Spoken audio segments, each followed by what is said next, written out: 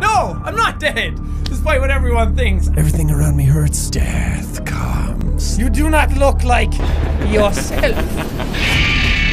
Whatever is inside, we need to get it out. That doctor thought he could save him. It's all your fault. It's time to die. I'm always there. Did you just kill someone? What the fuck just happened? It wants to destroy you from the inside out.